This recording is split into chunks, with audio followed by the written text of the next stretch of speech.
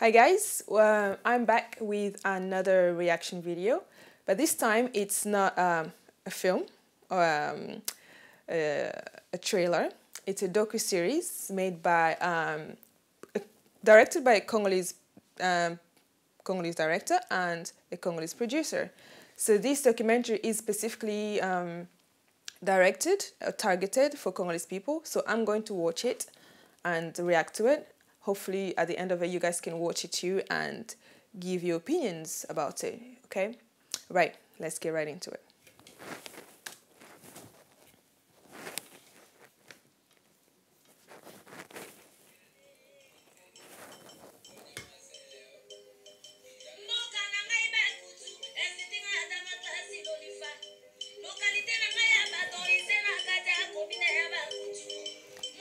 going to skip the intro because it's uh, quite long and we're going to um, get right into the questions, to the first question. So, bang. Alright, almost there. Just going to take names of the people that are present.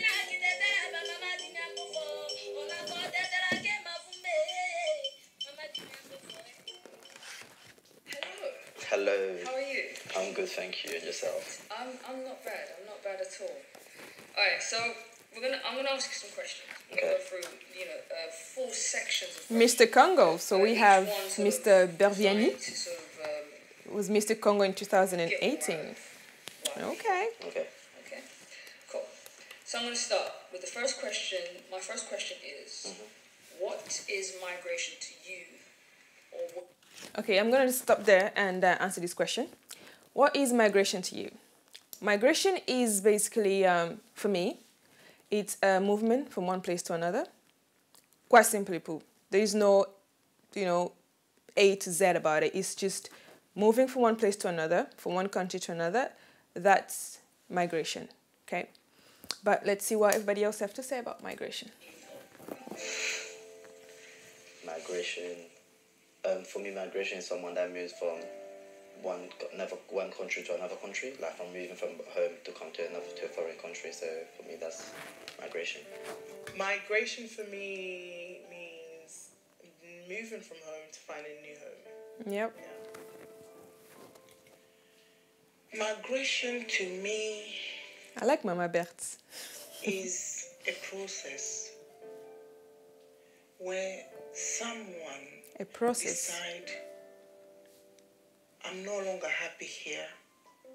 I'm not well, well off here. I think I could be better over there. And they take that, make the decision, and actually take the step and go where they want to be. There's a lot of factor in that process, To me, my understanding of migration is the movement of people from one place to another, Yes. to put it in simple terms. Migration is a uh, is a combination of things. So This is Charlene. This is uh, the it's producer just, it's of the nature show.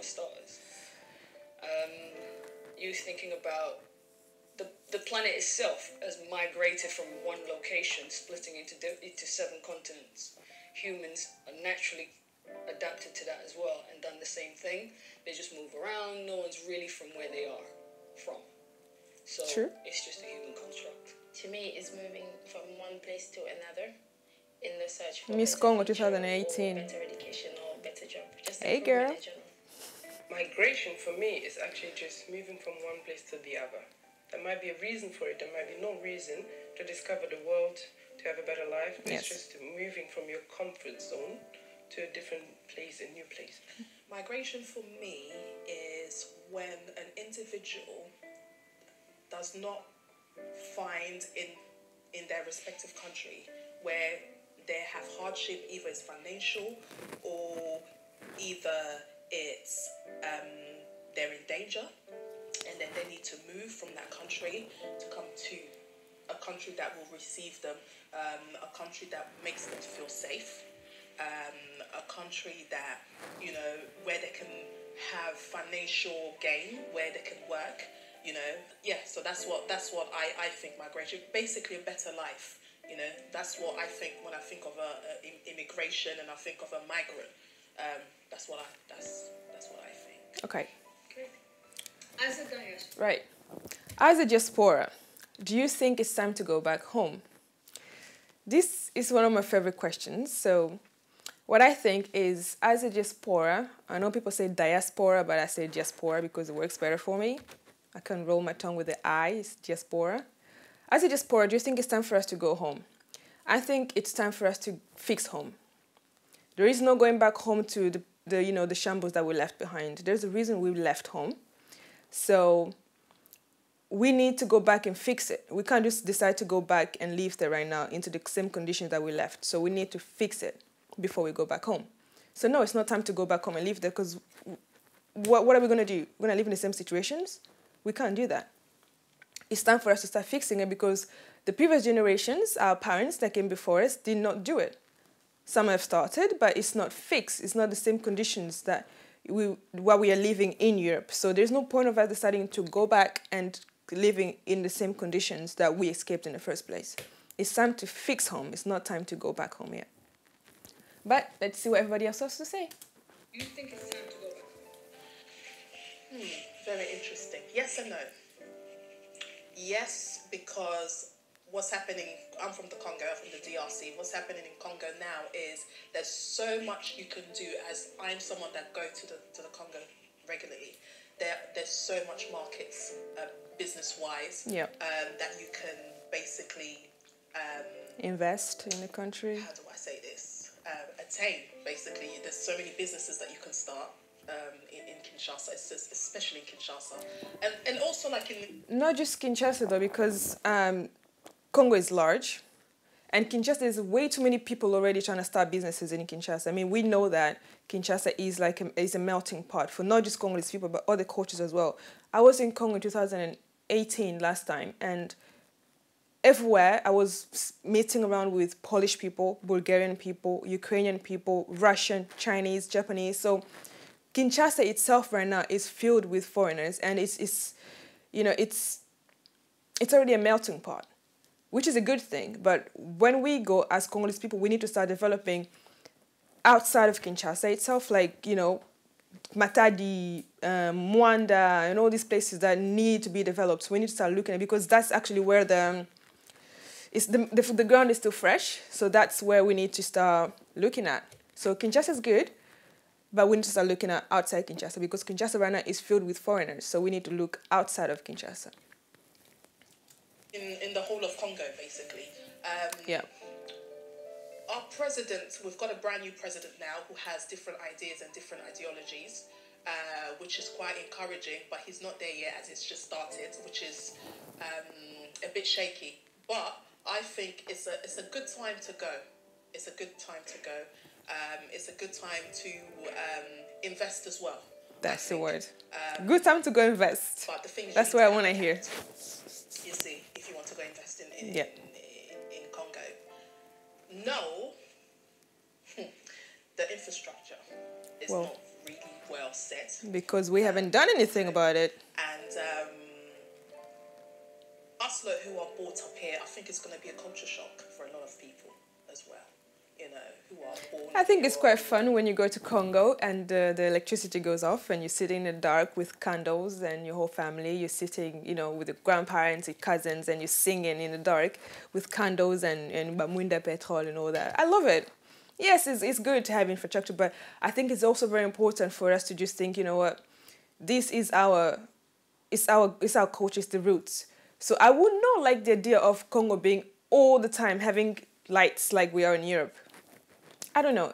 It would be good, but I like the idea of sometimes just having it all gone off, so we could just like totally bring each other, like bring family together, and just enjoy ourselves. Because actually, what that does is it helps you disconnect from social media.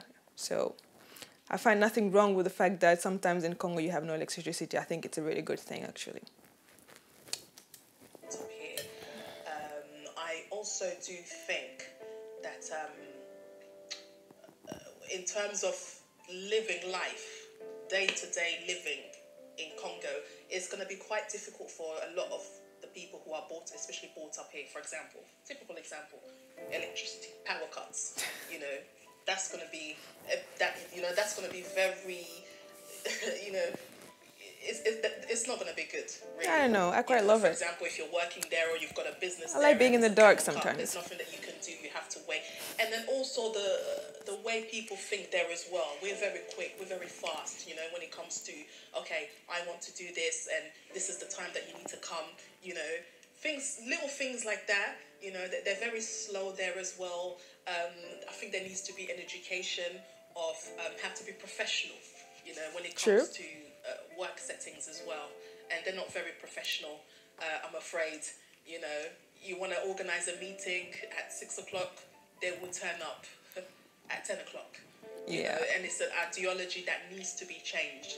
You know, and um, yeah, so it, it, there, there's a lot of um, barriers, but that I have known people who have gone back and who have basically overcome those barriers, but it takes a while to overcome it, and you know, and you, you will get frustrated as well, you know, um, yeah, but Um, I think I wouldn't say as a diaspora. That depends on you as an individual.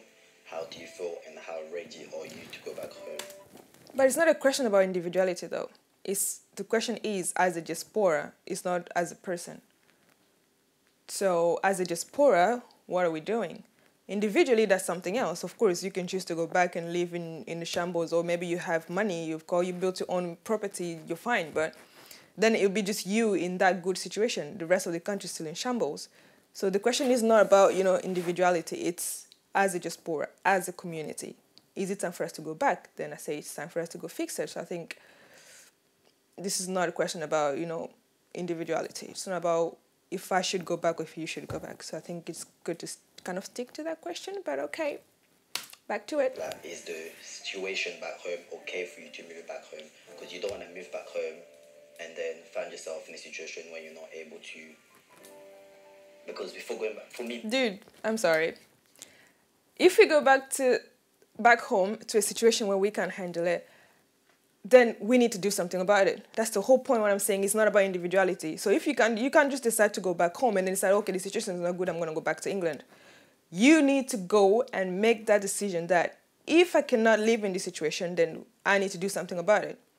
So it's about as a community going to Congo and fixing it. It's not about individuality. It's not about you know whether you can just go back and decide you know whether it's okay for you to be there or not. It's about the community. So it's again, it's not about an individual choice. It's about the community.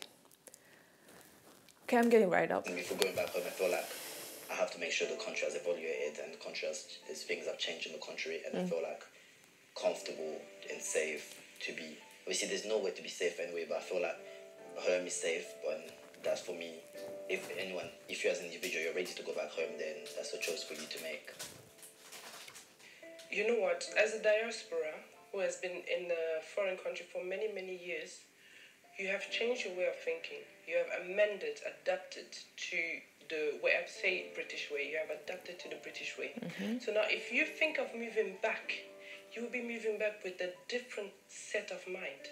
And you will start True. judging those people according to where you come from. You'll be like, yeah, but we never Sis, no. Okay. to do that. I mean, back in London, in UK, they don't do that.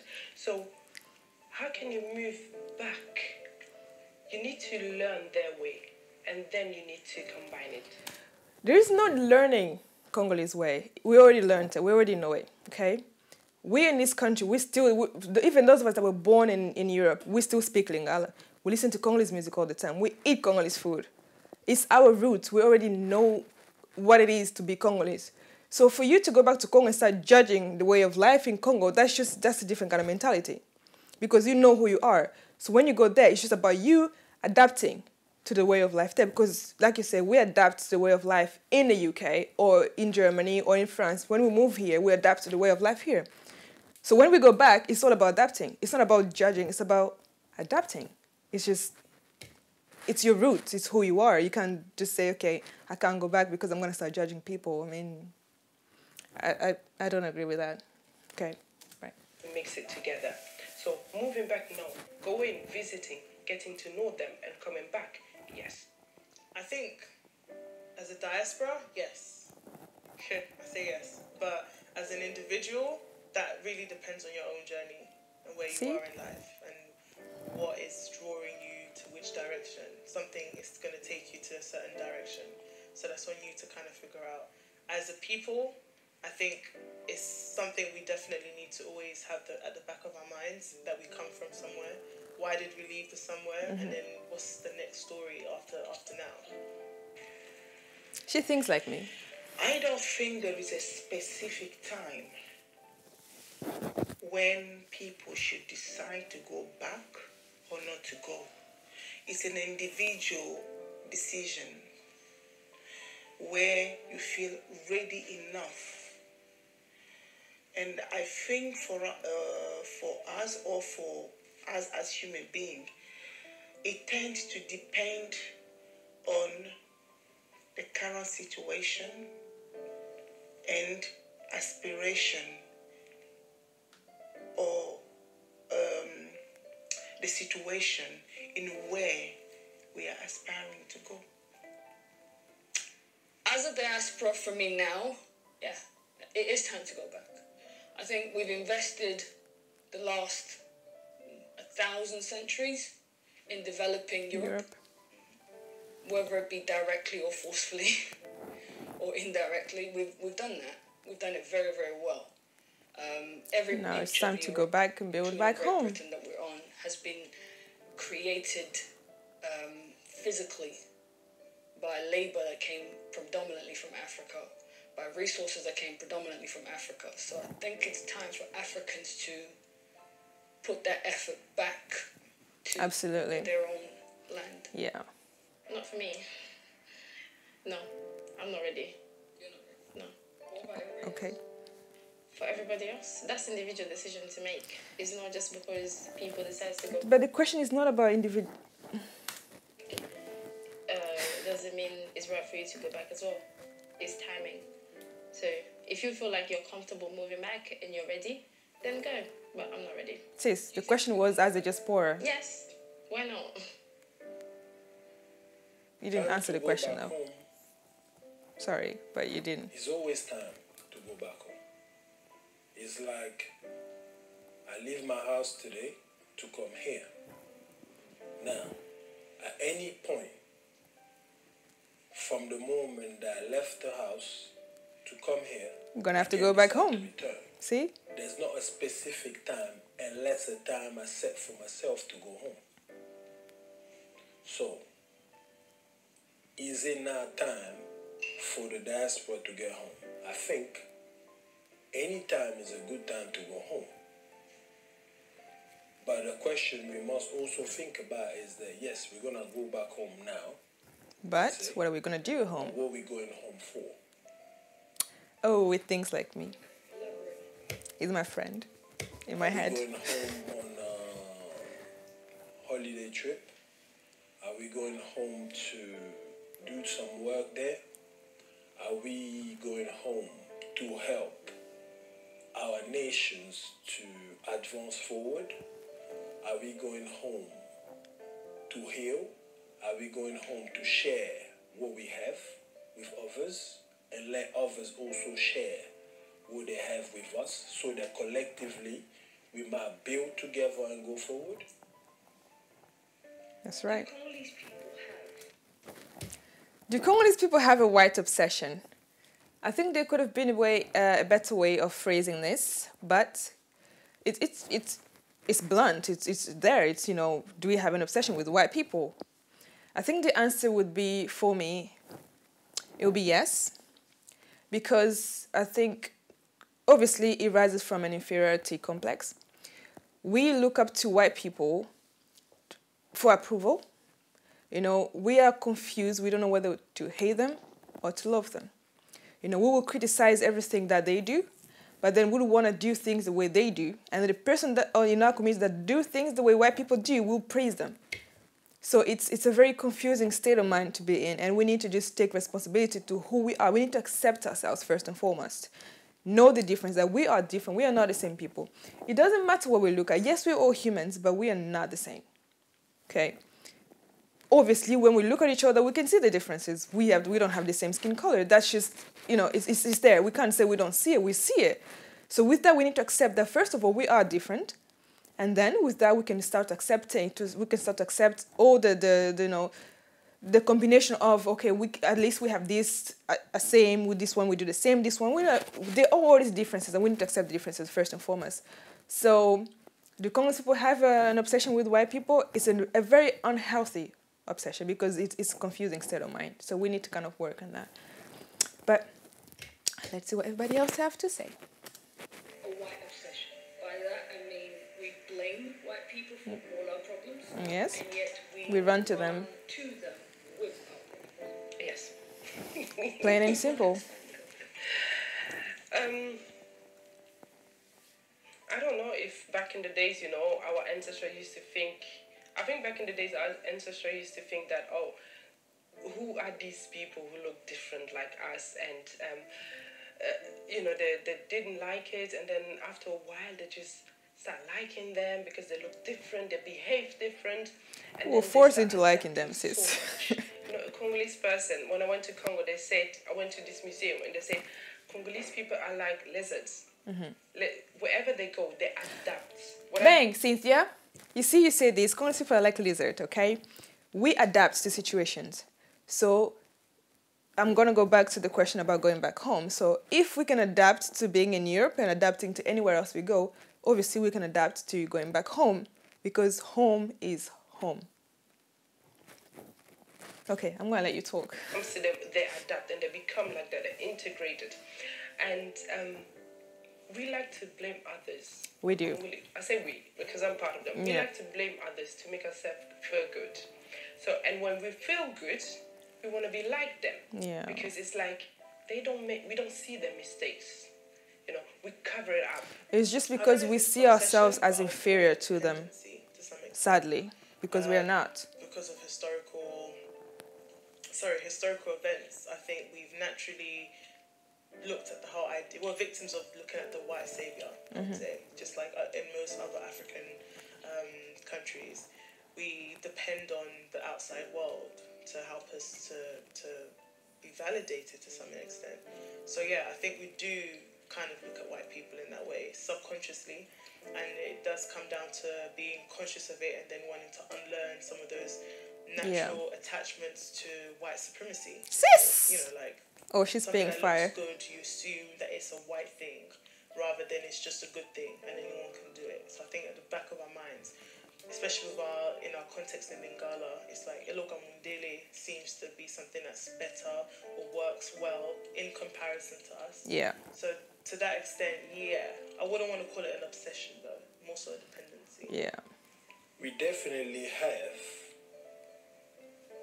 something with white people because to us when we think about white people one of the first things that pop up in our mind is um, history Yeah. the colonial past what has happened in the past as well as what is our relation with them now Yeah. so, us running to them, I think we cannot put that in a general form. Every person got their own way of viewing that very same situation based on what they experienced with white or let's say European have been so far. Yes, there's some history there that need a form of dealing with, let's say. What kind of problems do we run to them for? Well, we come over here Yeah. when our country's in downfall. That's one example. Um, I don't think we blame them, but obviously they colonized us. Before they came into our land, we were fine. We were not moving from one place to another. But the fact that they came, they already opened that door that you can. It's okay to move from one place to another. They Before Europeans came to Africa, Africa already traveled. We were not the savage that they portray us to be. Okay, we traveled before they came. You know, we moved around. The story, the history that we know now is what they've written for us to tell us that we were savages, that we never traveled, we didn't do anything, we were not civilized. That's not the truth. So they did not open the, the doors to traveling You know, it, it's always been there. That's it's a human nature to travel. So to say that you know they open a door for us to travel and tell us that it's okay for us to move around, that's that's that's wrong. It's it's not right. Okay. Into our country to for diamond, gold, whatever. Why can't we move for better education? As long as you can afford to move, you can move. It's a free country. It's a free world. You're free to move. It's human right. Yes, we do. I've seen it in the Congo, I've seen it in Kinshasa. Yes, we do. We think white is right, which is not. Absolutely. We think that, you know, the white culture, Mundele culture, you know, it's like it's superior to our culture, to the African culture. Um, I also, I'm a, I, it's, um, and I, I, I do think it's quite sad because we have a rich culture in in, in Congo, and I, I do think it's really you know it- it's quite sad the way Congolese are put you know the white organization or even the the, the, the you know the white institution, the white man, right? They put it before themselves, and they think that the white man is more intelligent than them, you know, which is completely wrong. Absolutely wrong. It's just that Europeans have more access, you know, to to further whatever it is. So they have more access, and what they do with their access is they start to feed us, you know, their idea of what they want us to think about ourselves and how they want their people, like want other white people who are not in the same positions to think of us. So it's all about it's all about having access, like she said. You know, they have the access, they have the ability to manipulate everybody else. So we cannot just fall into the same umbrella and be manipulated and accept that yes, maybe we are below them, maybe we are inferior to them, which is not wrong. It's not correct. I mean, it's not correct. It's wrong. What am I talking about? That, that's that's my personal view, and I think in Congo we don't really have that much access, you know, and hence the reason why we are very limited. Yeah. Yeah, I think if we're honest with ourselves, and we're gonna be really, really honest, we definitely do have a white obsession. It's not so much that we blame everything to them, but we look up to them. We are, they're almost like we, we, we are looking for Approval, validation a for val- something. yeah, like almost like validation. We need it. And and to me, it's always been like I, I didn't really understand it because I never really grew up with that mindset until I kind of came into this um, into Europe. But that's the thing, though. We only really experience racism and all that differences when we come to Europe. Because when you grow up in Africa, you're just a human being. I mean, you know about the races. You know you're black. You know there's white people. You know there's you know red, Asian, and whatever. There, all those races exist, but you don't look at yourself in the mirror and go, "Oh my God, I'm black." That happens the moment you come to Europe, or you know just leave Africa. People start pointing a finger at you and pointing out that you are different. So that is quite frankly it's it's a European mindset. It's not African, it's not ours. I don't understand why I need to get validation from people who had to enslave you Yeah. in order to make you do what they wanted you to do, uh, or even try and look like them. Because I've always grown up with the concept that I look good, you know, and my skin was great. So Until you come here, they start telling you different. Again, I think it depends on a lot of things. Auntie? Uh, you will always find people who reason like that. Uh, a white man uh, is the reason for all why they are such a failure. Um, why Africa is where it is today. Why Europe is so beautiful. Africa is where it is today because of the white man.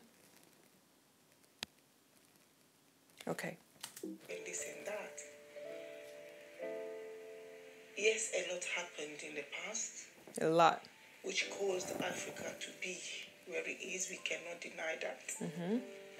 But with that said, it's time for us to stop using that as an excuse to just be lazy. We can't keep saying, you know what, white people did this to us, so you know we have the excuse to do this and that. That we can't do this because because we've run out of excuses. Eventually, we have to run out of excuses. We ha- it's time for us to just like, you know what, accept it. Shit happens. They did what they had to do to survive, and now what are we gonna do to survive? We cannot accept this position that we are in right now. Like you know, we're in the bottom of the barrel, knowing that they did what they did to be where they are right now. Now we are where we are now. What are we going to do about it in order to get out of the position that we are in? So, yeah. I think now we can come to terms with that. Yeah. We have so many African intellectuals today to change that. Yeah. Um, today, I can't agree uh, to. I can't agree. I can only agree uh, to a certain level to that statement because unless I'm mistaken, up to today, the white, find it difficult to say it like that, but white, European. Sis, they call us black. We we're black. They're white. There's nothing wrong with that. I mean, sorry, auntie. yeah, to permanently um,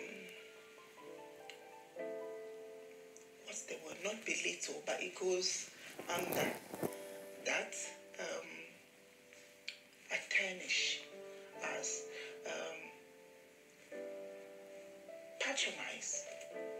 patronized us for the longest time. But there So- again, we can say, why don't we do the same? We don't need to do the same. Do the same today. We don't need to do the same. We don't need to enslave white people. We need to fight for ourselves. We need to basically separate ourselves from the minds, from the sl- mental slavery that we are in today. We need to separate ourselves from the idea that we were slaves. Because before we became slaves, we were kings and queens. We had everything. We, you know, we were, we were leaders. So the slave mentality came afterwards. So what we need to do is separate ourselves from that idea that we were once enslaved people. We were once below, you know, the idea of, you know, white is better. So we need to separate ourselves from that mentality. And it, it's not about wanting to be better than white people or wanting to be equal to white people. Wanting it's about wanting to be our own people. Because we are ourselves. We need to just separate ourselves from so instead of trying to mix ourselves be- like, you know, becoming like them or becoming better than them, why don't we just bring our own table, you know? Bring our own table. Make our own stuff. Be our own people because we are different. Be our own people. Okay, Auntie. Talk. Why are we in the receiving end? Why are we paying attention to it? Why are we so small minded? It is, it depends on individuals, it depends on choices. Like I said earlier, we have so many intellectuals in Africa today. We do. And I know it goes with African politics, who are not quite paving the way for their citizens to um, yeah, not making things so easy as well, even for those intellectuals. But it will have to be our own willingness to change those. Say today, I say to you, Yeah. Charlene, you're so dark. I like how she says say that to Charlene. Well, Such a so pronunciation. So what? It's only a matter of color. Why do we have to take it because we called black? We take it as an insult. Why don't they take it an insult when we call them white? I don't think many of us take being called black as an insult. What we take as an insult is, you know, everything else that comes after that. You know, everything else that they decide it's an insult to us, we decide it's an insult. For example, the N word. They've used it as an insult to us. And we, when we hear it, we take it as an insult. It hurts us be- just because they've used it as an insult to us. So if they want to call us black and you know you're black, the race is black, I'm black. Then I should also be it should also be okay for me to address you as white because I'm black, you're white.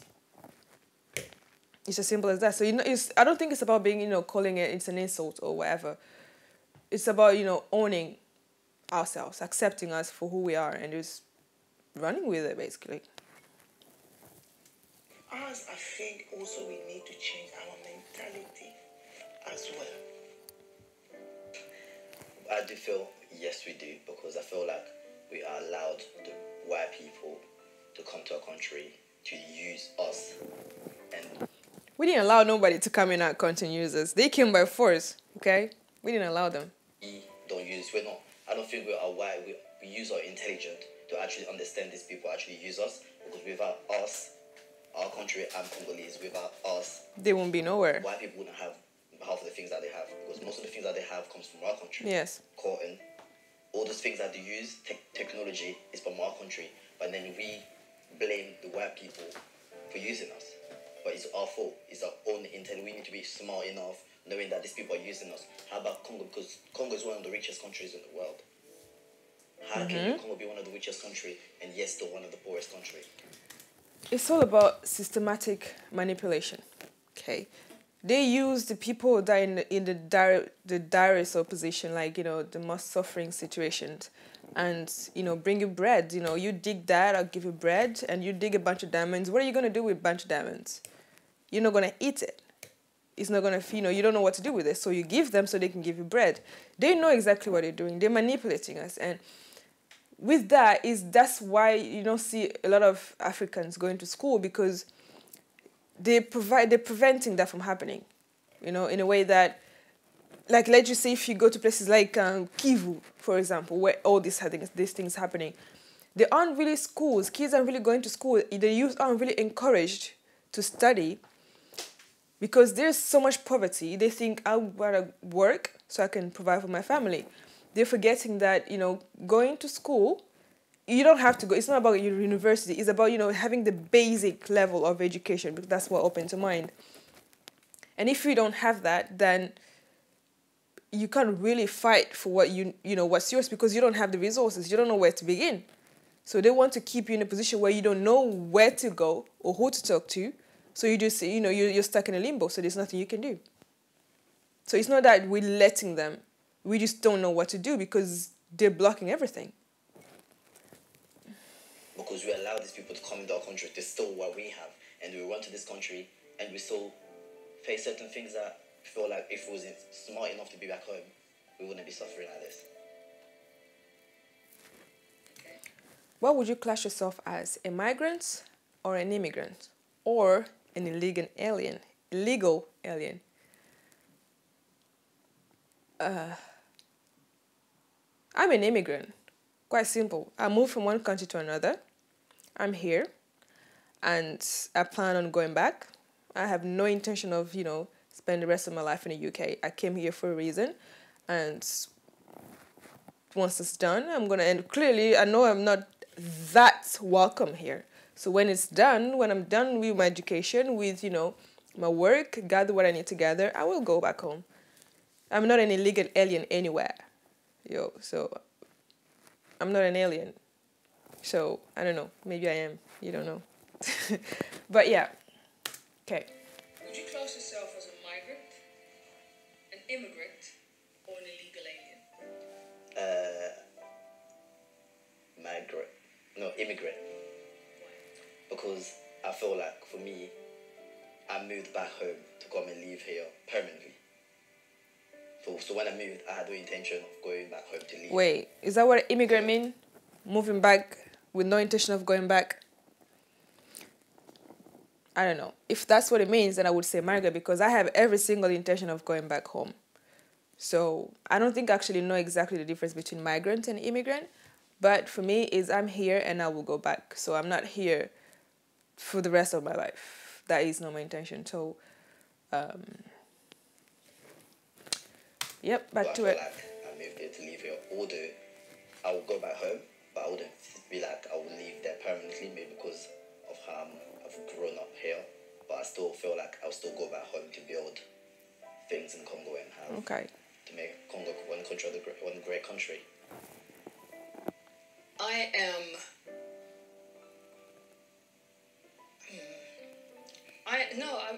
Myself as any of that because I am the population of Earth. Okay. Just like the cockroach is a population of Earth, Right. The antelope, the lion. I'm a population of Earth. So I belong to Earth.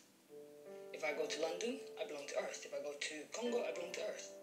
I was born in Congo. They're from Congolese, but I belong You were born in Congo, but now you're living in England. So what does that make you? It's a simple question. Okay, I'm gonna go back to alien.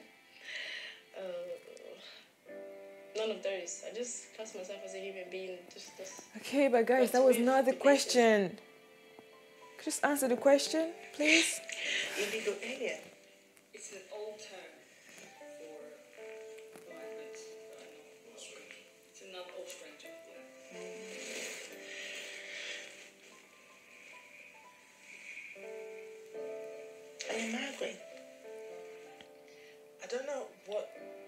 the differences are per se, but I, I would say immigrant based on my family history, um, or more so refugee, really. Um, not sure how those three kind of work technically, if I was to be honest, but refugee is an identity that I, I, I remember feeling like it was just who we were ever since I can remember. So, yeah. I come from somewhere and I moved to a few places. Now, those terms migrant, immigrant, to me, they're just words to try to define certain concepts. Yeah. Yes. If I've been through the migration process, yes. Because I've moved from A to B. In that sense, yes. I, I just like the word illegal alien because alien looks like something that shouldn't be in the place where it is. Uh, when I went to China, there's a boarding card that says alien shouldn't work in China. So when I saw that, I was like, who is an alien? And I looked at myself, I am not an alien. I'm not from a different world. We are all from the same world. So illegal alien, never. Um, I think I, I would say I'm an immigrant. Um, because um, I'm an immigrant and a migrant. And what was the other one? Immigrant, migrant, illegal alien. I'm a, Not that illegal alien. yeah, okay. I'm a immigrant because when I grew up in Germany, I grew up still knowing that I'm different than them. And I still had to adapt to their ways. I still had to learn their language. I still had to kind of integrate it into their culture. So that makes me an immigrant. and my mom made sure that I knew that I was different. So I had to behave, you know, to, to outshine everyone else. So that's that's the reason why I'm an immigrant because I still had to adapt, and I'm a migrant to the UK because I made the decision from myself um, to move, to leave my comfort zone, to leave Germany and come to the UK. I don't see myself as a migrant. I don't see myself as any of that. I just see myself as a citizen of the world. Why are we avoiding the question, please? You know, I don't.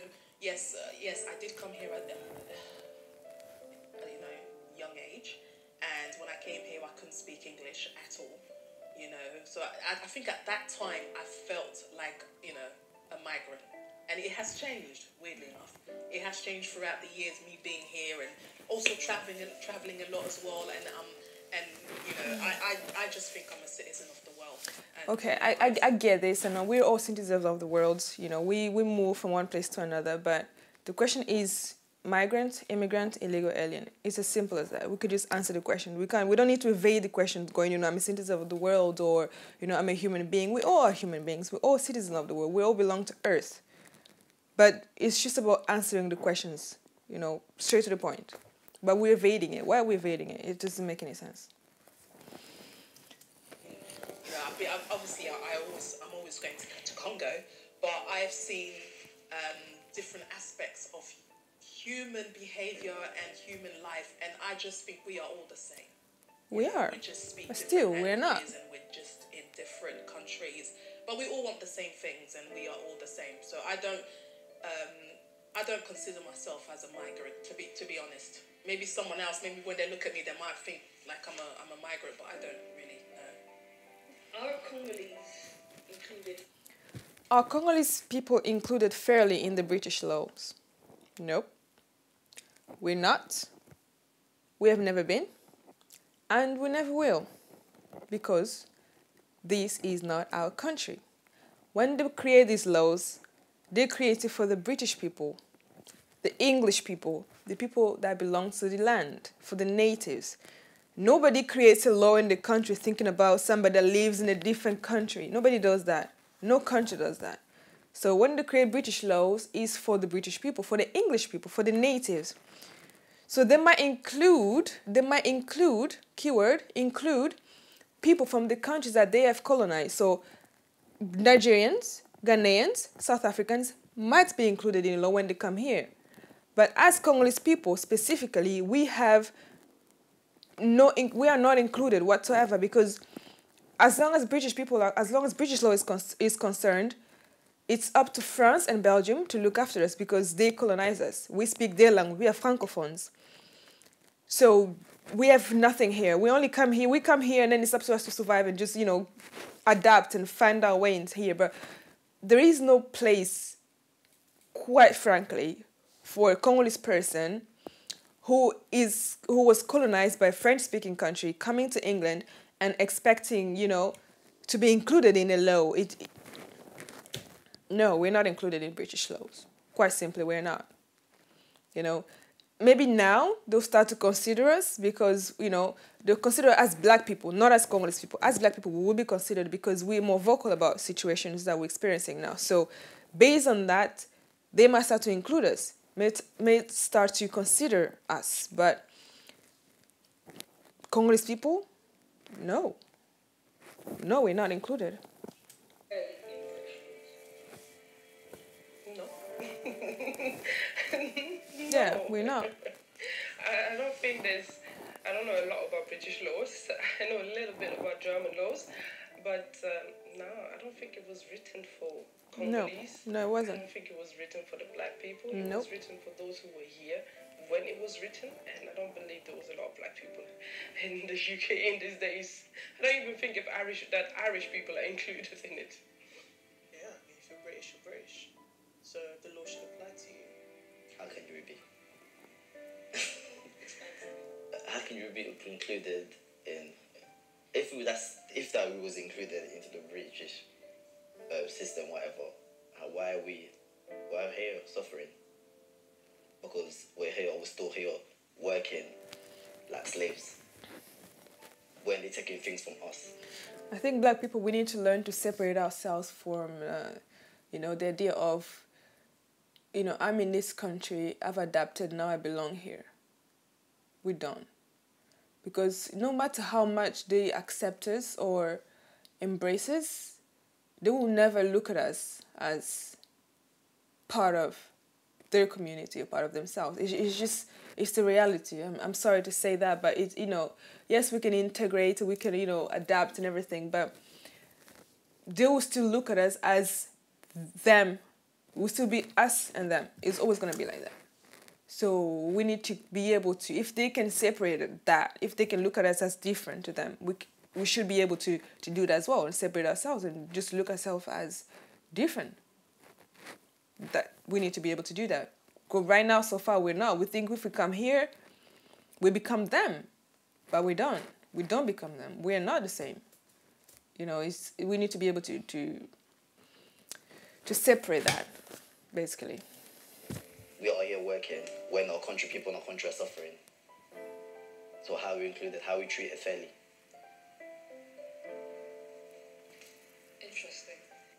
No.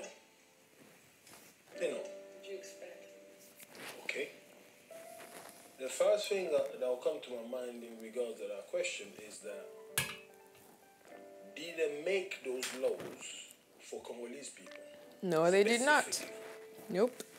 If they did and the laws designed or made do not fit the Congolese people, that's one thing. But at the end of the day, those laws are made primarily to suit and accommodate The natives. of the land first. Yes. And the Congolese people come to fit in there secondary. They're not the main focus. It's like saying They made the laws, and hopefully the Congolese might find something for them. There's not even hopefully. They made a law. If you fit in it, you fit in. If you're done, you're done. They, they don't even hope for us to fit in anything. Always have. God, that sounds so radical. been Do I? observed first. Damn. Gee. As in like black Oof. people or just Congolese because we come from Congo? I think everyone is included. I'm more um, open-minded. I take things as they come. I don't see race Sis, playing a part on the rules or the regulations of a particular country. As long as human right is there, as long as we're respecting each other's needs, equality, you're allowed to fit As a black woman, just a small example. As a black woman, go today, go to the GP, ask for a service, ask for something, and see how long it takes for you to be attended. Just, just do that. I mean, I don't know, man. It. This is just. Okay. your work and get the job that you deserve based on your qualification, not your No, race, no. then that's fine. We don't do that though. They don't do that. They don't give us jobs based on our qualifications. They don't do that. Because they do not give us jobs based on our qualifications. When you send your CV to an employer, first thing they look at is your name. They read your name, they see Jansi Mulumba, they know you're not English. They're not even gonna look at your qualification. They put a CV aside and they're going to look for a, a Bethany Smith. You know, it, it's just it's facts. I'm sorry, but it's facts. You do not get jobs in England because of your qualifications. That happens later on. You know, you can with what happens with black people is you start climbing. Yes, some of us do get jobs because of our qualification, but it's very few. The majority of us, people look at your name and they set you aside. They're waiting for you. I mean, how long does it take? One example, you graduate university with a friend, you know, you've got the exact same qualifications, you both, you're both looking for jobs. If you're black and your friend is white, your friend will get a job before you. It's a fact. I have an example. When I was um, 16, 17, I applied for this job in Poundland and they told me they were looking for more people. If I had friends, I could, uh, you know, invite my friends to apply. I invited a friend. My friend sent the CV. You know what? My friend got the job. I didn't. You know why that was? Because they did not look at my qualifications, even though I was more qualified than her. It, it was not, you know, that I applied first. It was like, you know what? She's black. She's why We'll hire her. It's just as simple as that. It's fact. So we need to learn to accept that as well. It sucks, of course, and maybe we don't want to accept it because you know because we know we're all supposed to be the same and everything like that, blah blah blah. But these things exist, and we need to accept it. Okay. I think we're non-existent in the British law. I, it's not even. I don't even think. I, I think Congolese. We're not. We're nowhere near. Nowhere near. We're no, nowhere near the British law, the British constitution. I don't think even Africans are. Full stop. Yeah. You know, um, no, not at all. Um, not at all. I mean, I think eh, we're not included in anything. Even in, you know, we're lacking in Parliament. There's no one. There's no MPs in in Parliament because you know I, I go to Parliament and there's no when oh you're from Congo oh oh okay. There's no one there. Yeah. There's no one in major institutions. You know. You might find people from the francophones country. You can, see you can find a Nigerian, Nigerians, Ghanaians, which is really important. South I Africans, think it's really but important Congolese, to have, a, to have a repre- representation not in England of a Congolese person in politics in this country. You know, I think it will be. I think it will. It, I don't know if it will make it easier, but I think they will kind of have a bit more respect for us Yes. and they will consider our um, our issues that's happening in the Congo. Yeah. Much more yeah? They seriously. will be Yeah. more considerate. But because we don't have a face, So they don't care. Exactly. hence the reason why we are forgotten. We are you know. invisible. That's it. Congolese cannot be included fairly in any law if the system around the world was created by Europeans. So if you look at even the system in Congo was created by Europeans, so it's just not going to be fair until you deconstruct that. You see? Um, the law here in England was never. I mean, even when you go to goddamn Congo, you go to like the major shops, the major places like you know hotels. I mean, who are these people? Who are the first faces you see? It's white people. It- Which is very sad, but I mean, Congo being the country it is, there is a we are. It's like it's a battle for Congolese people because the whole world is looking at that one country to develop the rest of the world. So we are in a position that, I mean, it's difficult, but we need to wake up and just think, okay, this is our country. We need to realize just how important our country is in the development of the world. So once we know that, surely, then we can start taking drastic steps because we need to take drastic steps because everybody else is taking steps for us. Everybody else is doing things for Congo. Once we just we're just sitting behind and watching the world go by. It's, it's I mean, our country is being taken from us right under our noses, and we're not doing anything about it.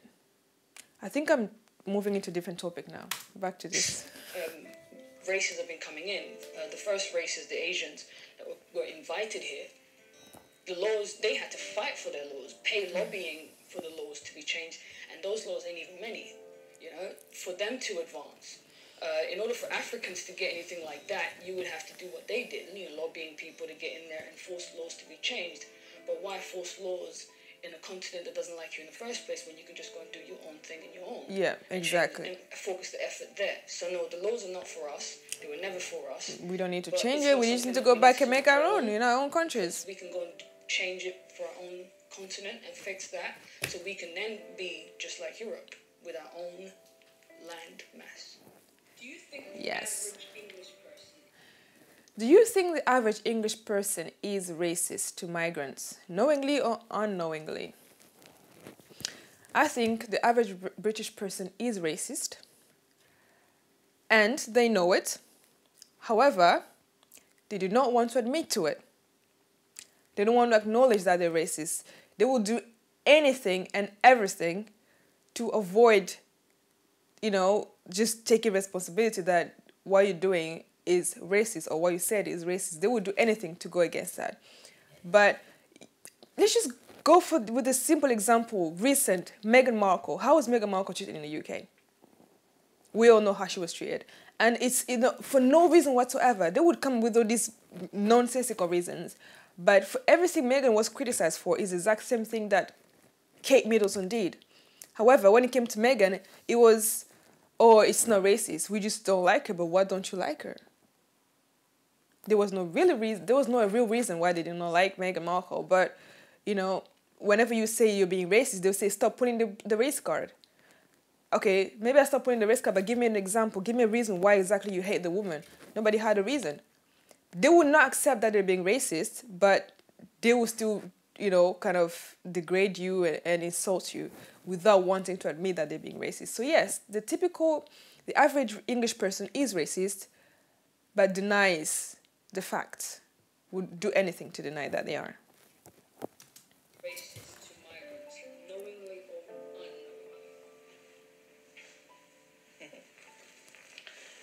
So many are racist knowingly. Knowingly, with the one, they made to it. Personally, I've been a victim of that so many times. We all have. But I have a mindset of looking at that person. For me, when you're being racist to me, I pity you. Because to me, you don't understand. First of all, you don't understand historical facts. You're not intelligent. Dumb as hell being racist. You look damn as hell being racist. You to understand that there's no black, there's no white, there's no red. We're all one race, first of all. We are all human beings. Yeah?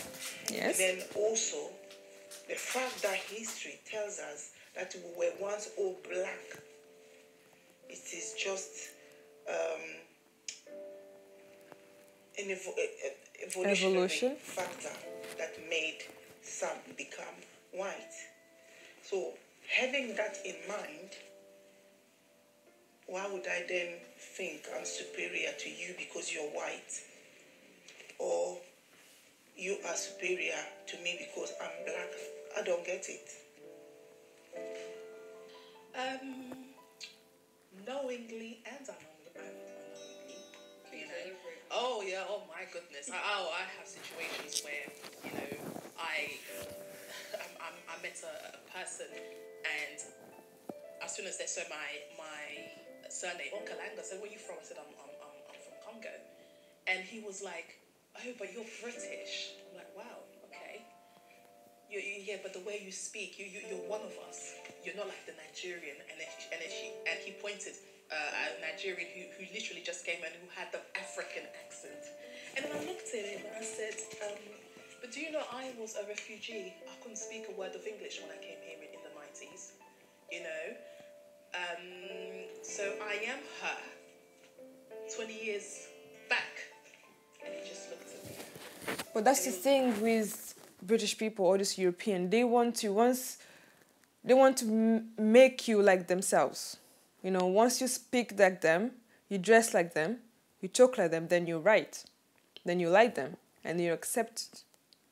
But as long as you're different, as long as you still have your African accent, as long as you you, you wear your Afro hair, as long as you dress your you know your your your African clothing, they look you as somebody different.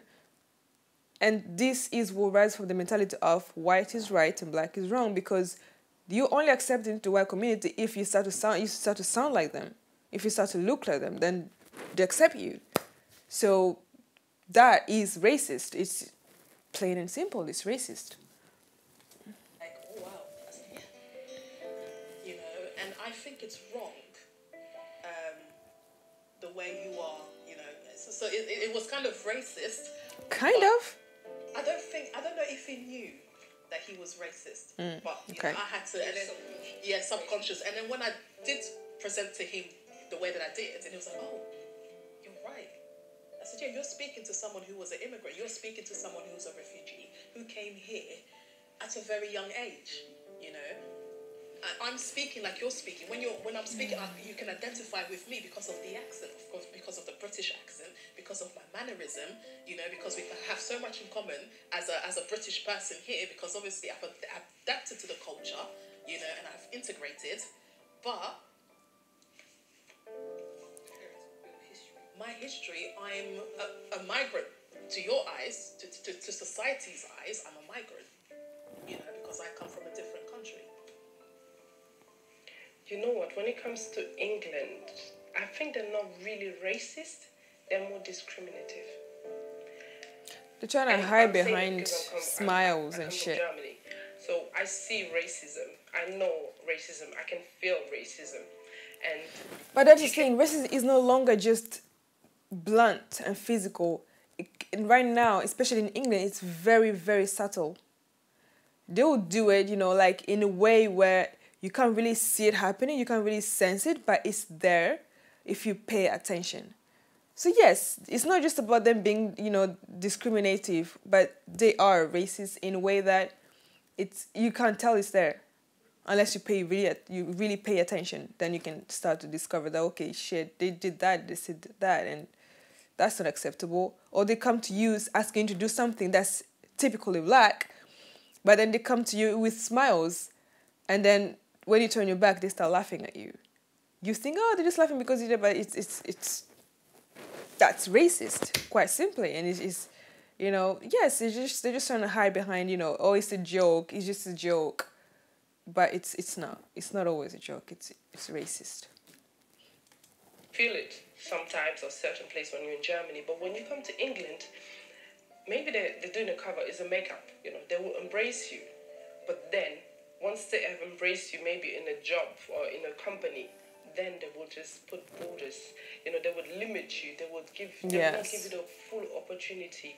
You know, so they would then start discriminating you. So I don't believe, and even wherever you live or wherever you go, they will put this fake, you're right, love, this fakeness in them where they will not show you that they're, they're racist, but they will show you that you will feel discriminated Yeah. somehow. Yes, so I wouldn't really call them English people racist. I would call them more discriminated. they are racist Um, I've never experienced any sort of racism, but It What? You're black in England. You've never experienced racism. That's bullshit. I'm sorry, but that's just not right. That's not true. Maybe you're just not wanting to admit to it, but it happens all around you, everywhere you go. You know, it's just about how you deal with it.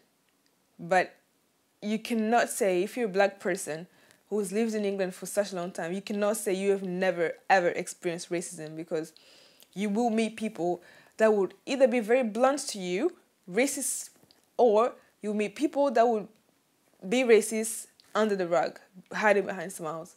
It's up to you to pay attention. Maybe you're just been ignorant and didn't pay attention to it. But yeah. Hey, then again, it's your experience. I'm not gonna speak about experience. So, okay. Maybe you haven't. So if you If you haven't really, if you haven't experienced racism in England, I am happy for you. Truly. I hope the rest of us would get to, to experience them. I hope that will be the future of the world where nobody or no black person experiences racism in the UK or anywhere else in the world. I hope that is true for you. So if it is, then I'm I'm happy for you, truly. be racist to you doesn't mean they have to be the whole group of people doing it. It's Well, of course, it's n- individually. it's not about putting people in a box. First of all, why is it when something is, is you know to do with white people, we don't put them all in a box as one group? It's always about not all white people are racist. It's just not you know I met the racist there, but when it's something to do about black people, it's everybody in the same box. When it's about to do with Muslims, it's everybody in the same box. You know, if a Muslim commits a crime, they're all terrorists. If a black people, if a black person commits crime, they're all thugs. But if a black, if a white person commits a crime, it's mental health. It's that specific person. It's when it comes to white people, it's always individuality. But when it comes to any other race, it's the whole group of the people. Why is it like that? Of course, it's not everybody. It's not. Of course, it's not like every white person is racist. That's not true. It's it's a fact. It's not true. But when we say about white people being racist, then we we need to be able to just you know talk about it openly without trying to separate it. You know what? It's not all of them that are not racist. I'm sorry. If they can openly call us thugs and call Muslims terrorists, why can we not openly call them racist? I mean, yo. yeah, okay.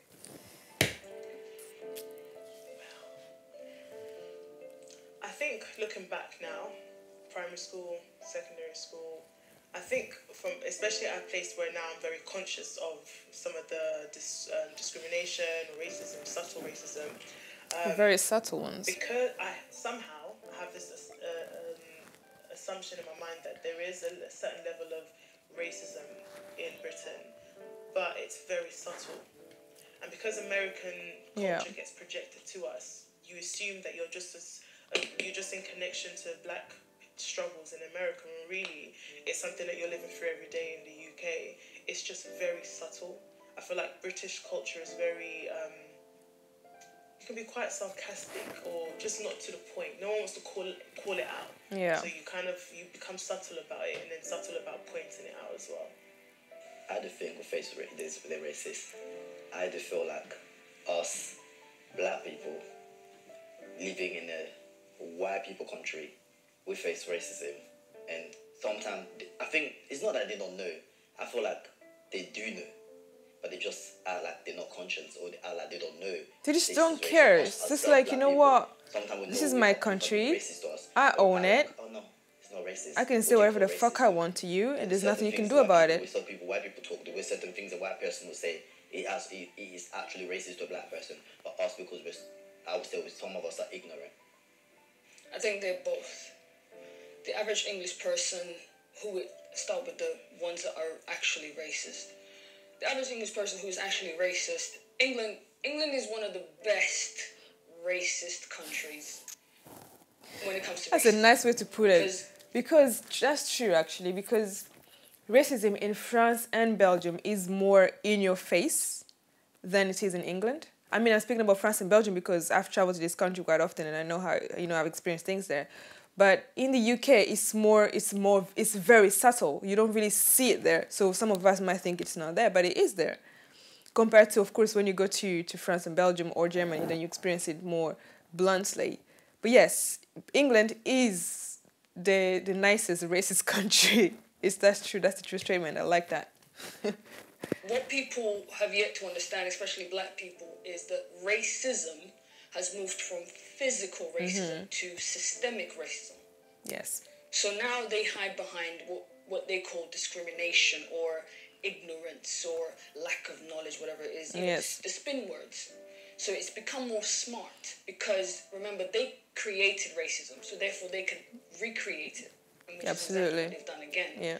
Uh, so where it was physical everyone can see, now they've realized, hmm, because we own the systems, we've created the systems, we can hide behind the systems. And we can paint it as though we're not racist. Yes. But actually, really, we are. Case in point, the prison systems in almost every European country where there's black people holds 80%, you know, Yeah. ra- uh, black people than it does the native that are, the, you know, the highest population.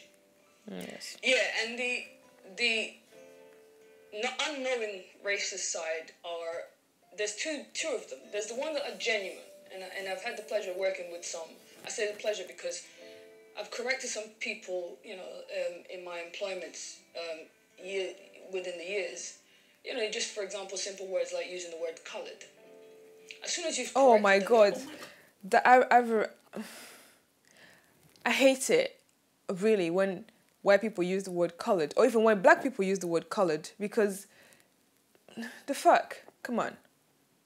What sense does it make to you to address somebody as colored?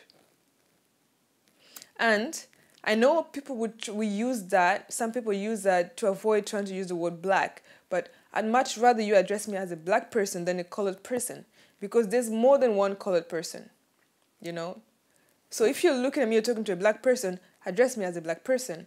And we've had this in a church once. Uh, I think I was I was like fifteen or sixteen, where uh, uh, something happened in the community, and this woman went to the church and she was speaking about something that happened. The person that this happened to was a black child, and she was talking about the black community, and she was like, um, um, to the uh, the, the the colored the colored community. I was like, sis, just say black you know because when you're trying not to be racist you're actually being racist so say black okay? Just just say black. We can take that. But don't try to hide behind colored or you know even blacks with the s at the end. Don't do that.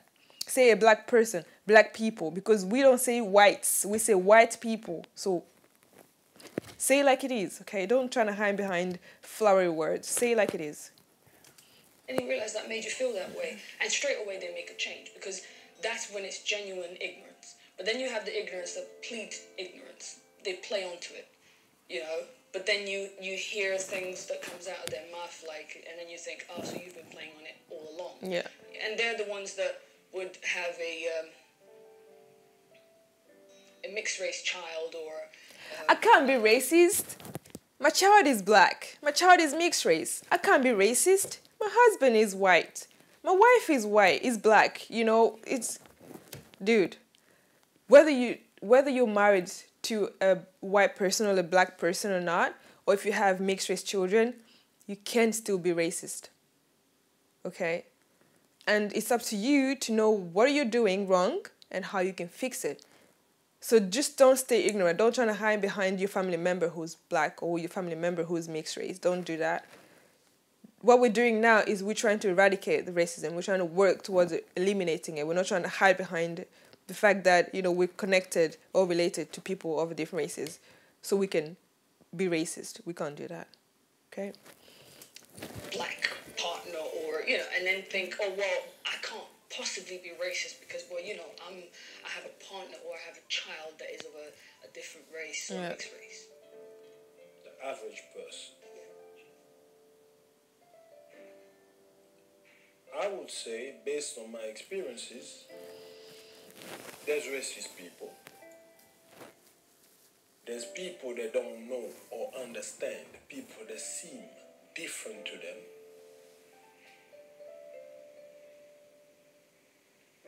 You can find a bit of both of those two categories I just described.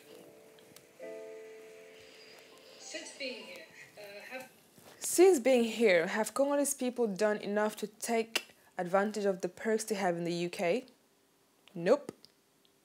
I.e., building education, industry, jobs, healthcare, support, finance, you know, as the Chinese, the Jews, and South Asians have done. No, we have not. Very few of us have. But if we had, we would be in the same position as China right now. But we're not. We're so, so far behind. Because what the Chinese and the Jews have done is they've taken what they've been given, taken advantage of what was provided to them, went back to their homes, went back to their communities, and built and invested in the communities. That's not what the Congolese people are doing. Sadly, the Congolese people is are more interested in individual individual wealth. You know, is I'm rich, I'm gonna do this for me. We don't care about you know our country or you know our neighbors. It's, it, it's which is very confusing because we are very community oriented. We are very family oriented. So when we get money, why is it that we want to separate ourselves from our community? It makes no sense. It's just it's it's it's nuts. So we need to learn to start investing not in our individuality, not in our individual selves, but in our community. It's about going back to Congo and building and bringing ourselves together. The way the Chinese have done, the way the Jews have done. We need to learn this. We need to learn to do that because right now we're not doing anything. We're not. And it's sad.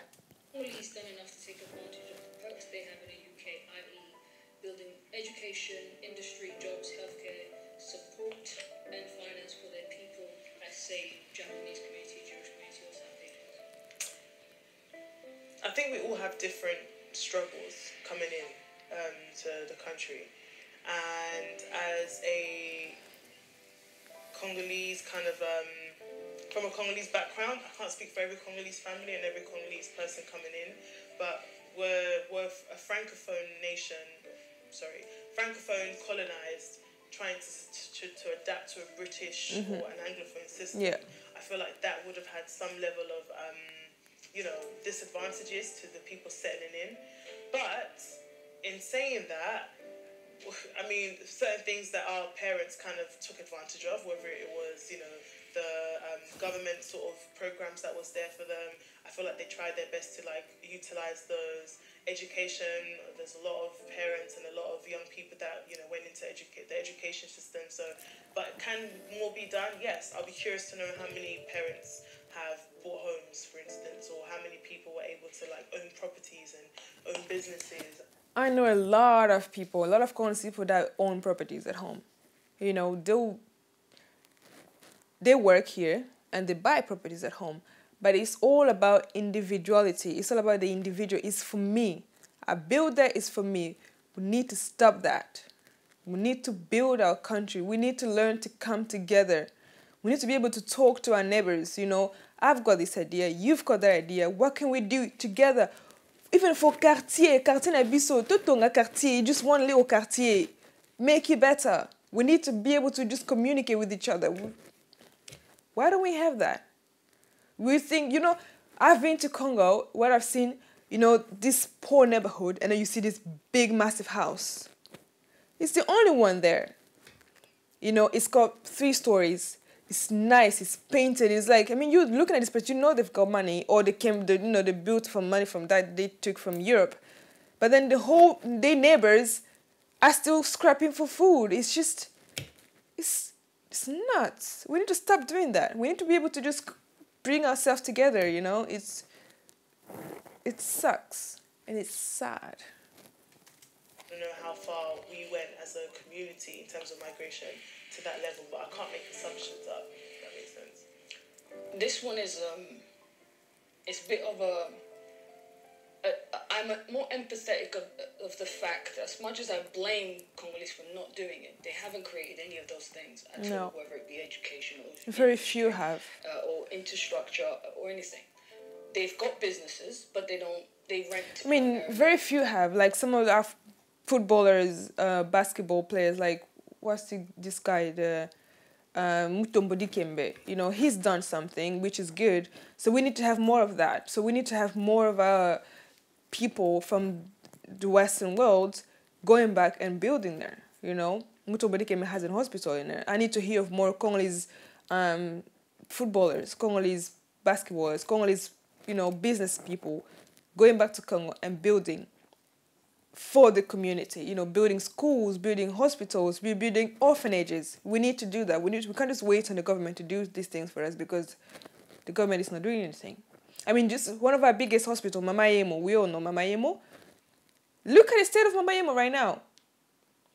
You cannot, now you can't take your family and say, you know, somebody's sick in the family, you're going to take them to Mama Yemo. Very few people can do that. Very few people, specifically if you live in Europe and know the realities, you're not going to want your family to go to Mama Yemo because it's, it's, it's not a good hospital anymore.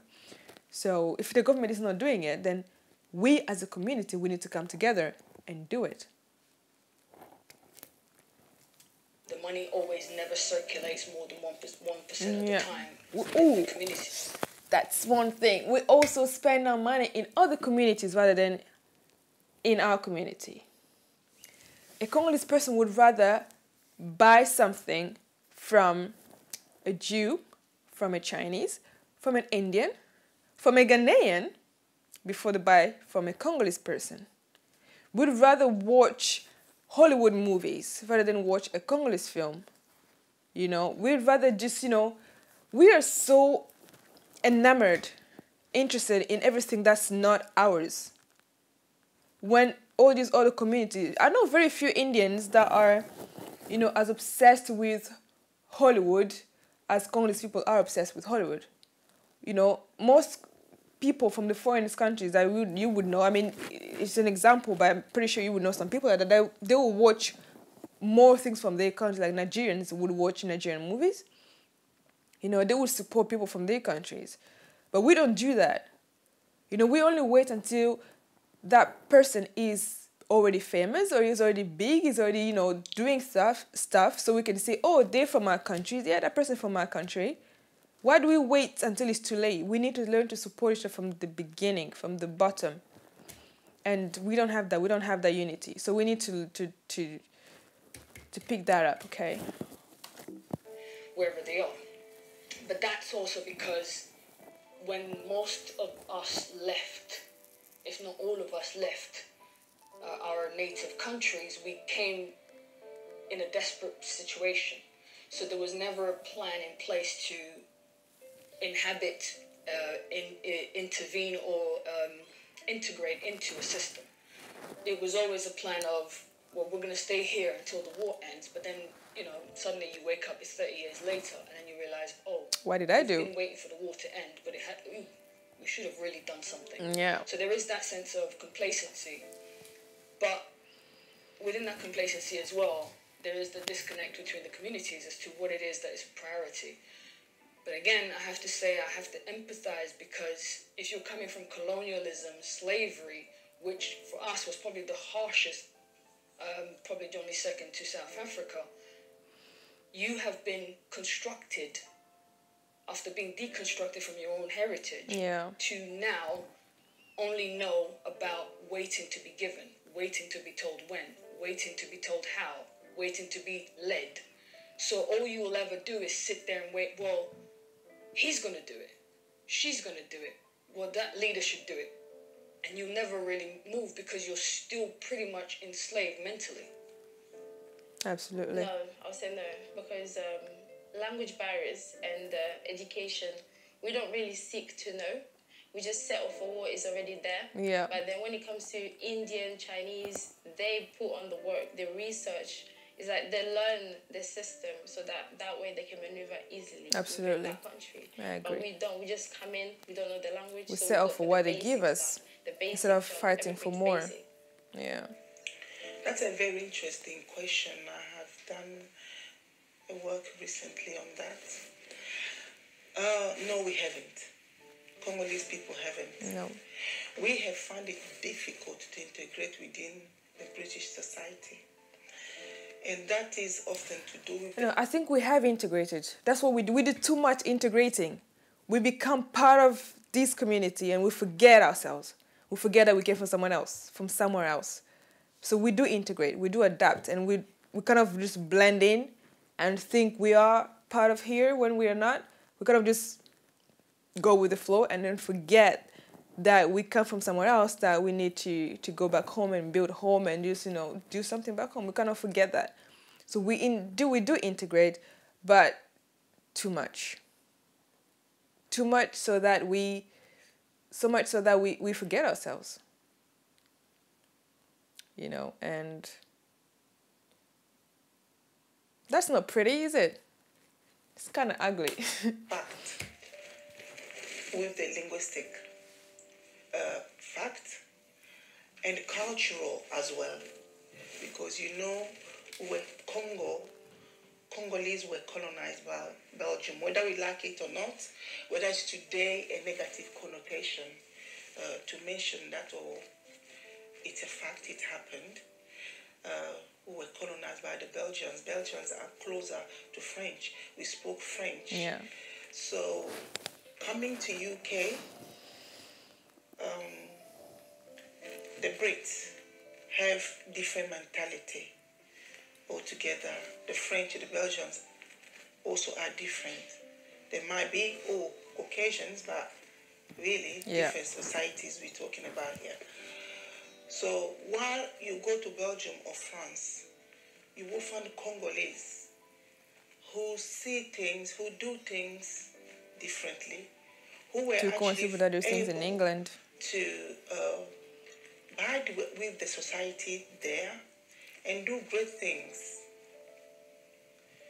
We here, we had to come here first of all at certain age, 40s, I like some, I came here, I was much younger, but for some, most, I would say, parents who came here, they were probably in their 40s, some maybe 50s, maybe late 30s. Immediately they arrived here, they embarked in, uh, perhaps if you are a father, you turn up in UK alone. Now you're thinking of your wife and children you've left in Congo. You now have to start in the approach to, to, to unite with them, basically bring them. And for you to do that, you have to be working day and night. Because remember, you might have left a wife and four, five kids. Uh, while the government here might give you papers, they won't pay the tickets for you to bring them over. Yeah. It's all on you. So you'll find so many parents did not have time to even go and do those simple ESOL courses. The English they learned was perhaps through the children, because children through the shop, uh, shopping process, through watching TV. Maybe later they decide, okay, let me do a course. But it's it's it's quite different from uh, our brothers and sisters in Belgium and France. So by the time now they realize maybe I, I want to do something, they're probably late 50s, maybe early 60s, in the eve of their, basically they're about to maybe retire. So we didn't do much. We have we have not done much. no we haven't As a community in the UK, no. Um, I would say no. I don't believe that Congolese have taken full advantage of whatever UK is offering them, and that's the reason for for me saying no is because I believe that the Congolese people leaving when they left Congo, they left. They didn't just leave Congo, but they left Congolese people. Yeah. I mean, they left everyone behind and said, "Okay, I'm gonna start new on my own." And um, which shouldn't what be they've like done that. is more adapting to the European way and trying to trying to we should know that we left the situations in our country. We didn't leave our country. We didn't leave our people. We left the situation that we couldn't live in anymore. So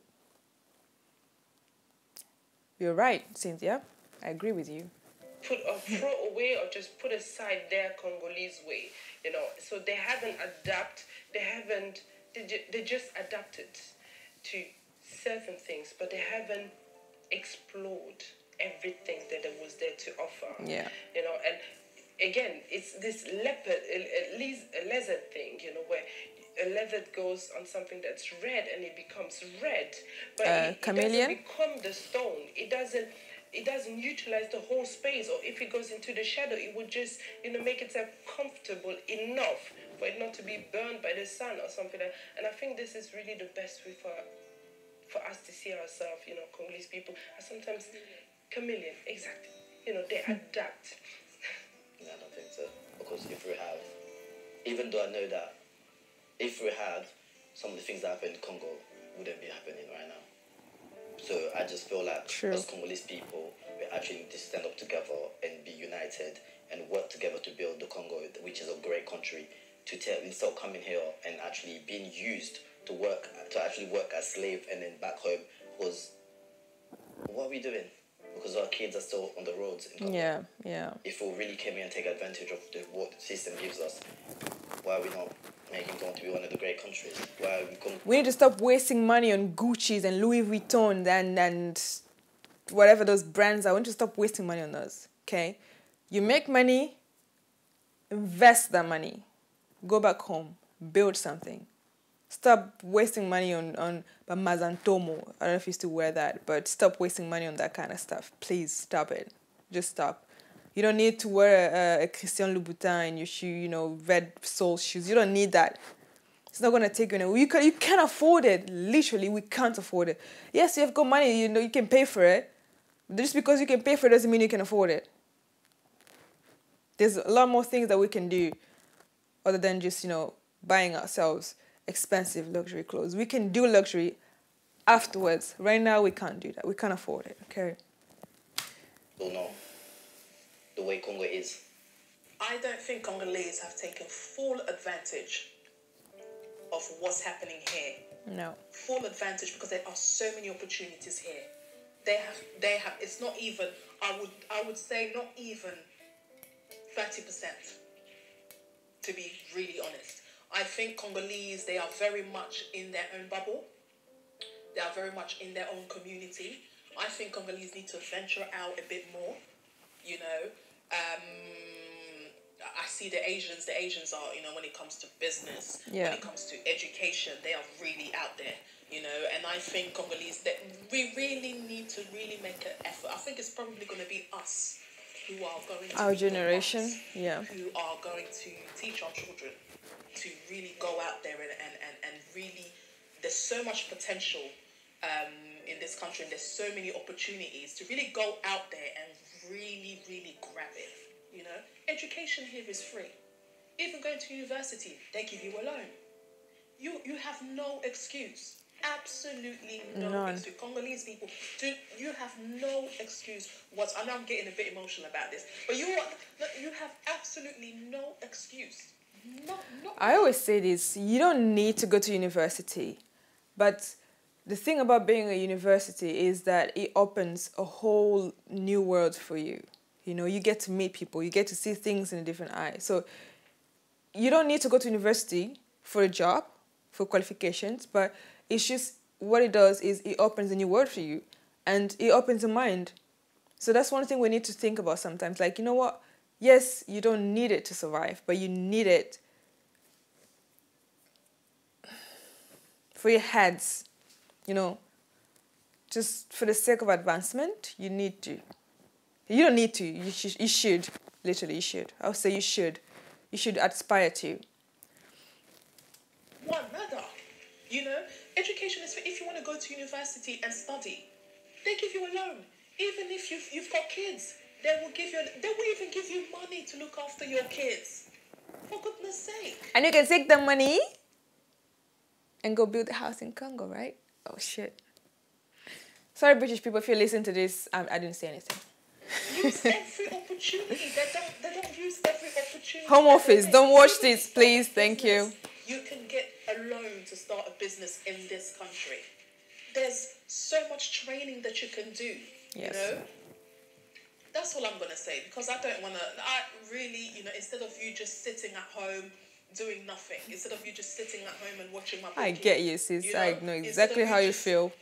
you know, spending your whole day drinking, you know, and talking absolute nonsense on social media. There's so Gossiping, talking about can do, music. You know, there's You know, books to read, even if you don't want to go to university. There's books you can self education. You Yes. can educate yourself. You know, Yes. it's it's just. Why am I talking like I'm in church? Drives me crazy. Drives me crazy. Yes, sis, preach. She's right. Amazing. Amazing. Right, guys, so that will be all. You see, this is the kind of shows we need to have more because we need to have these kind of conversations more often. We need to talk about, you know, we need to discover where we are as a community in the diaspora. We need to discover that because we are so, um, what's the word, éparpillés. We are everywhere, you know? And we come from a country that is so united. And then the moment we step out of it, we become so separated. Why do we do that? We need to be able to find ourselves and come together and work together and just discover okay, what can we do? Because we are not from here. We need to go back to where we came from and and, and, and that's the only way we're gonna survive, not just as black people, but as Congolese people. We need, we need to do that. So um, please watch this documentary and and give your feedbacks. And also if you want to you can do a reaction video. So I'm, I'm looking forward to seeing part two and part three and part four and five and six. I hope it goes on forever because i like to have this kind of conversation. I like to see people talking about this because what it does is, is it opens your mind you know it, it makes you see far. It makes you think. So that will be all and uh, I'll see you again next time with another reaction video from hopefully another Congolese um, docuserie or a Congolese show or something. Maybe you might get another film reaction, another trailer. I don't know. Depends on how I'm feeling. Please subscribe if you like, if you like this. Subscribe and like and comment. Um, I feel like I'm begging, but I am begging you. Please. okay. Bye.